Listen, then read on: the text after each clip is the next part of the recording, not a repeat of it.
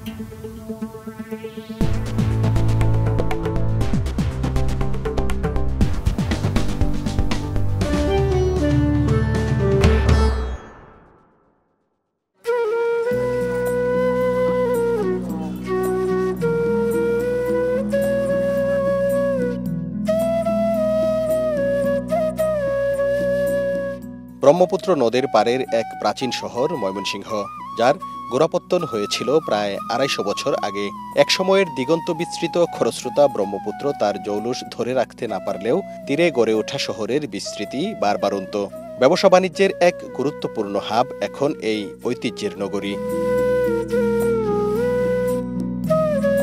প্রাচীন এই শহরের প্রথম ব্যবসা কেন্দ্র বড়বাজার, ছোটবাজার। তবে ঠিক কখন এই ব্যবসা কেন্দ্রের সূচনা হয়েছিল, এ বিষয়ে সুনির্দিষ্ট কোনো তথ্য পাওয়া না গেলেও ব্রিটিশ শাসনের সময় জমিদারদের এই অঞ্চলে আগমনের পর থেকে এর যাত্রা শুরু এটি বলাই যায়। জমিদাররা তাদের প্রয়োজনে এবং প্রজাদের কাছ থেকে খাজনা আদায়ের জন্যই মূলত স্থাপন করে এই ব্যবসা কেন্দ্র।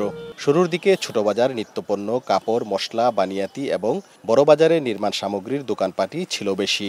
দোকানগুলো ছিল একতলা বা টিনের। পুরনো আমলের কিছু দোকানপাট চোখে পড়ে এখনও তবে আগে যেমন একছেটিয়া ব্যবসা ছিল ছোট বাজার বড় বাজারে এখন আর সে অবস্থা নেই। নিত্য প্রয়োজনীয় জিনিস যেগুলো, সেটির যে একেবারে স্বাভাবিক যেটি দরকার সেই স্বাভাবিকতা পূরণ, অস্বাভাবিক যারা সেটা না, তারা ওই ছোটো বাজারেই সেটা পূরণ করা সম্ভব। কোনো কিছু তৈরি করতে যাবে, তখন বড় বাজার ছাড়া কোনো গত্যন্তর নাই। সেটা নাট বল্টু থেকে শুরু করে হ্যাঁ একটা হুন্ডার পার্টস থেকে শুরু করে, কিংবা আপনার যে বাড়িঘরের জিনিসপত্র যা আছে সব কিছু ওখান থেকে ছোট বাজারের প্রায় দেড়শো বছরের পুরনো কাপড়ের দোকান বঙ্গলক্ষ্মী বস্ত্রালয়। তিন পুরুষের ব্যবসায় বর্তমানে হাল ধরেছেন প্রবীণ ব্যবসায়ী মধুসূদন চক্রবর্তী। দোকান খুলেই কিছু নিয়ম পালন করে শুরু হয় বেচাকেনা। ব্যবসা কিছুটা কমে গেলেও ধরে রেখেছেন পূর্বপুরুষের ঐতিহ্য। নারায়ণগঞ্জ, ঢাকা থেকে যদি মাল আসতো, বেশিরভাগ ট্রেনে আসতো। আমাদের কাপড় যারা বাবুরার থেকে ট্রেনে আসতো, তখন ট্রাকের প্রচলন ছিল না। ট্রেনে আসতো, ট্রেনের থেকে মাল পরে গরুবাড়ি গিয়া বিভিন্ন দোকানে দোকানে সাপ্লাই হতো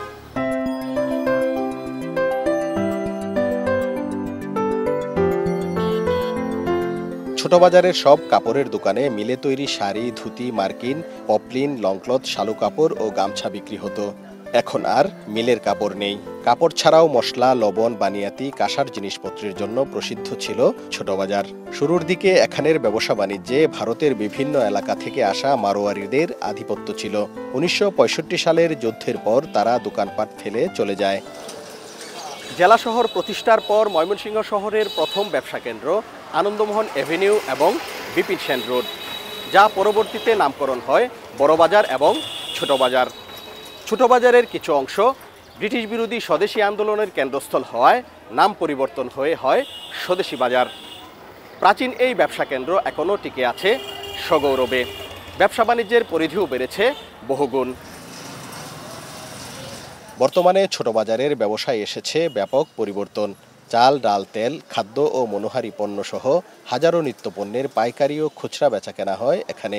তেরিপট্টির পাইকারি কাপড়ের ব্যবসা এখনও জমজমাট। সরকারি, বেসরকারি বেশিরভাগ ব্যাংকের শাখা ছোট বাজারে হওয়ায় এটিকে ব্যাংক পাড়াও বলা হয়।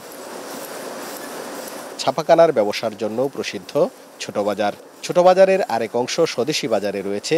হার্ডওয়্যার, রং, শঙ্খ শাখা, সাইকেল, মিষ্টি, পুরনো ওষুধের দোকান।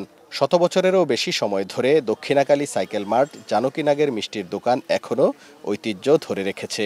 আমাদের এখানে আগে যে বেচাকেনা ছিল এখন তার সে বেচাকেনা এদিকে আরও বাড়ছে। একটা লঙ্গি তিন বছর গেছে একটা গামছা দুই তিন বছর গেছে এখন তো ঠিক না। ঘরবাড়ি বা যে কোনো নির্মাণ কাজ করতে গেলে সবার আগেই মনে পড়ে বড়বাজারের নাম। রড সিমেন্ট ডেউটিন থেকে শুরু করে নাট বল্টু সবই পাওয়া যায় এখানে। নির্মাণ সামগ্রীর সাথে মোটর পার্টস সহ বেশ কিছু পণ্যের বেচাকেনাও হয় এখানে। এছাড়া বাঁশবেতের পাটি ডালা টুকরির ব্যবসাও ধরে রেখেছেন বড়বাজারের কয়েকজন ব্যবসায়ী। বড়বাজারের ব্যবসায় গতি বাড়াতে মিনি ট্রাক বা পিকআপ স্ট্যান্ড সরানোর দাবি ব্যবসায়ীদের। আমার দাদা করছেন আগে ব্যবসা উনি ওই- সময় অন্য আইটেমে ব্যবসা করছেন সিমেন্ট এখন আমরা এই ডেউটিন শিটগুলা এগুলার হোলসেলের এ করতেছি। সকালবেলা সাতটার সময় আপনার দেখা যেত সকল দোকান খুলে যেত। নদী পার হয়ে মানুষজন এখানে জিনিসপত্র কিনতে আসতো। এখন আসলে ওই পরিবেশটা নাই। বড় ট্রাকগুলো চলে গিয়েছে কিন্তু মিনি ট্রাক এইখানে আবার প্রতিনিয়তই অবস্থান করছে। এতে আমরা যারা ব্যবসা করি, আমাদের জন্য তো একটা অনেক অসুবিধার ব্যাপার।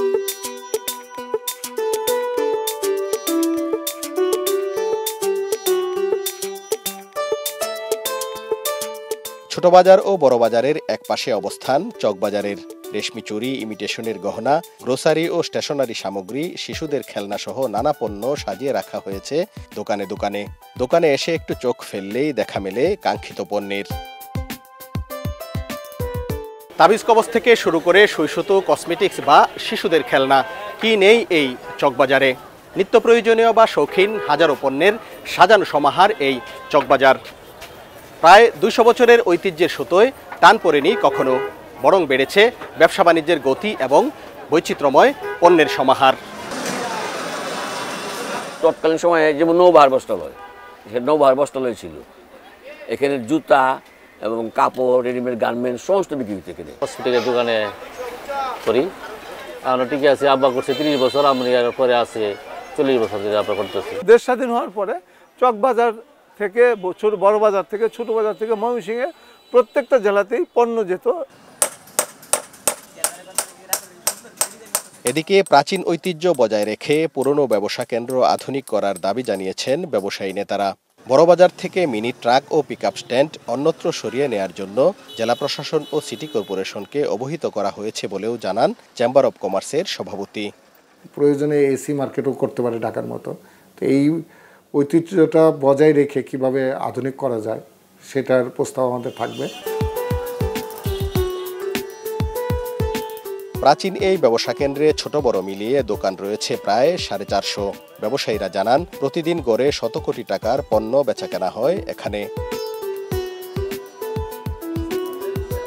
হারুনুর রশিদ, এখন ময়মনসিংহ।